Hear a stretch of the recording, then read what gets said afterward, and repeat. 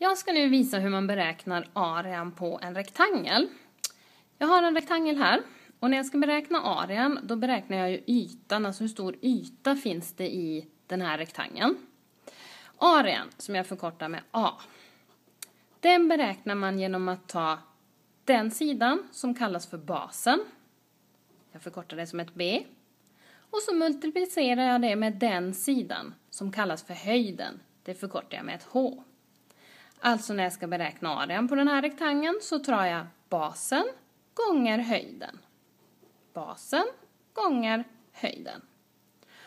Och den formen kan jag då använda för alla typer av rektanglar. Jag har en annan rektangel här.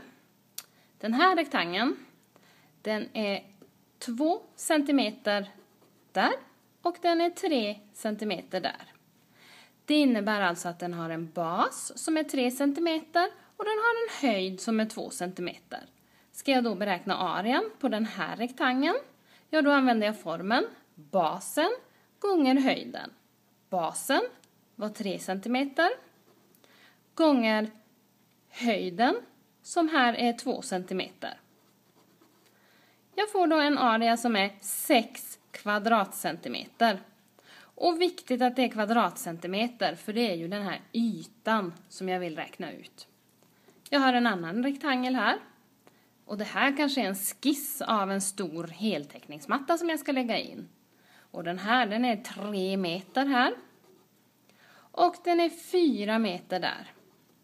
Jag vill beräkna arean på den här heltäckningsmattan.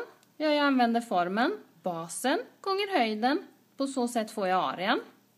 Arean här blir alltså basen som är fyra meter gånger höjden som är 3 meter. Det blir alltså 12 kvadratmeter. Viktigt att det är kvadratmeter för det är en yta, en area som vi har beräknat. Alltså, arean på en rektangel beräknas som basen gånger höjden.